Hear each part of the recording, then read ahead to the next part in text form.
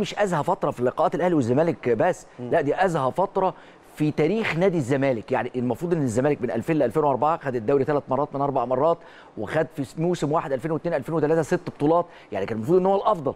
نجد إن في خلال هذه الفترات وعلى وجه التحديد في سنة 2002 الأهلي كسب الزمالك 6-1 يعني الأهلي عكس القاعدة إن هي يعني يعني هو من الشواذ القاعده ديت خمس مباريات تقريبا في 30 سنة. في التاريخ خمس 30 سنة. مباريات. كل كل- أغلبهم صب في مصلحة الاهلي إلا يمكن قليلا. هي- أو اتنين. أقول لك إيه مثلا السوبر اللي هو بتاع الإمارات بتاع ال- ال- اللي هو بتاع 2016 اللي اتلعب على نادي الجزيرة ملعب الجزيرة بالظبط. آه. السوبر ده كان الأهلي أفضل والأهلي كان واخد الدوري.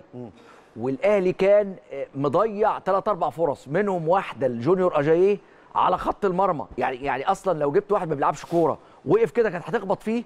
ودخلت. بالظبط. وإذا بالركلات الترجيح إيه؟ وكان في ركلة. جزاء كمان في المباراة نتذكر حاجة زي كده. بالظبط. آه. ولا الأكتر إن فرصتين منهم واحدة بتاعت اجاييه دي على خط المرمى.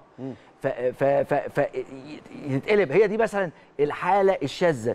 إن مثلا آه، في في آه، في الفترة ديت إن حتى في ال- والزمالك في 2014 2015 الأهلي فقد الدوري بعد ما كان واخده من 2004 حتى فترة مانويل